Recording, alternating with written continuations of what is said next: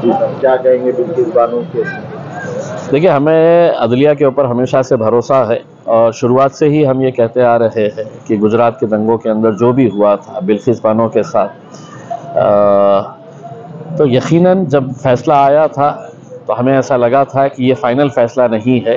अगर अदालत में सही तरीके से इसकी पैरवी की जाए तो बिल्किस बानो को इंसाफ मिलेगा। कल जो सुप्रीम कोर्ट ने जो फैसला लिया है हम उसका तहे दिल से इस्तेमाल करते हैं और एक बार फिर इस बात के ऊपर हमारा यकीन और मज़बूत हुआ है कि इस मुल्क की अदलिया ने हमेशा से ही इंसाफ किया है। जो फरार है तो कब तक है? देखिए ये तो सरकार की छत्र छाया के अंदर पले है बड़े है भगाने वाले भी सरकार ही है। अब ये जो सरकार है तो आप मालूम है कि किस तरीके से वो काम कर रही है। कितना भागेंगे, भाग भाग के कितना भागेंगे उसके एक ना एक दिन तो सलाखों के पीछे जाना ही पड़ेगा।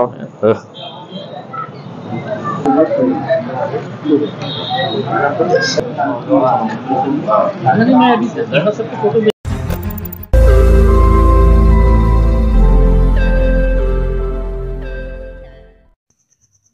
रोज नई खबरों को देखने के लिए हमारे औरंगाबाद समाचार चैनल को सब्सक्राइब कीजिए और नोटिफिकेशन पाने के लिए हमारे बेल आइकन को दबाइए ताकि हर खबर की नोटिफिकेशन आपको मिलती रहे।